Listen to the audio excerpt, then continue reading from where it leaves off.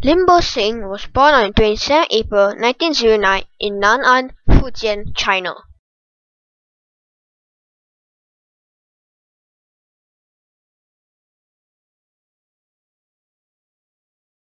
He died on 29 June 1944 in prison.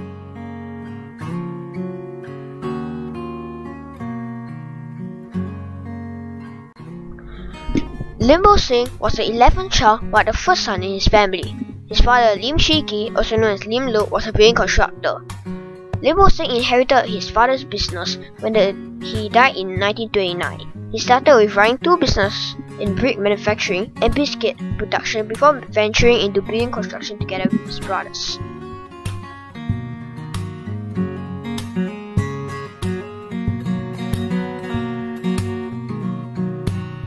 Lim Bo Seng came to Singapore at the age of 16 to study in Raffles Institution under the British colonial government. He then went on to read business at the University of Hong Kong. When the Second Sino-Japanese War broke out in 1937, Lim and other Chinese in Singapore participated in anti-Japanese activities, such as the boycotting of Japanese goods and fundraising to support the war effort in China. Lim Bo Seng was also involved in helping workers in Japanese-owned mines go on strike.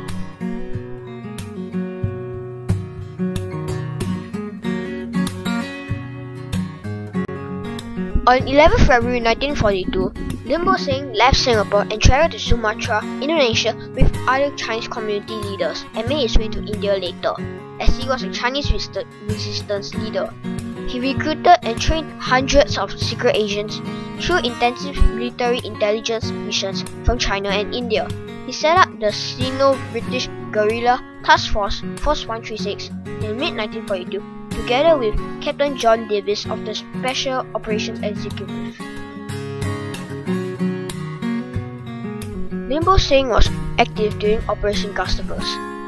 Operation Gustavus was aimed at gathering intelligence about Japanese activities, thereby aiding the British in planning their recapture of the colonies, codenamed Operation Zipper.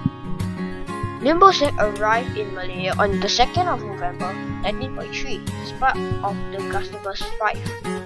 He traveled under the alias Tan Choon Lim to avoid identification by the Japanese, claiming to be a businessman when he passed through checkpoints. Lim Joined units which carried small-scale attacks against the Japanese during the Japanese occupation of Malaya.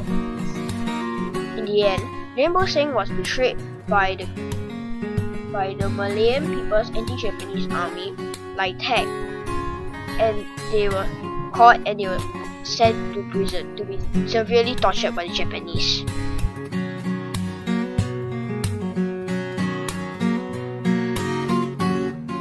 After the war, Lim Bo Seng's remains arrived at the Tanjong Pagar railway station in Singapore on 7 December 1945. Upon arrival, the hearse was sent off by a large procession of British officers and prominent businessmen from the station to Hock Ann Biscuit Factory in Upper Serangoon Road via Armenian Street. On the same day, a memorial service for Lim was held at the Tong Teh Library of the Kuomintang Association in Singapore. Lim was very famous as when he was taken to the Kempeitai headquarters for interrogation and he still refused to provide the Japanese with any information about Force 136 despite being subjected to severe torture. Instead, he protested against the ill treatment of his comrades in prison. He fell ill with dysentery and was bedridden by the end of May 1944. Lim died in the early hours on 39 June 1944.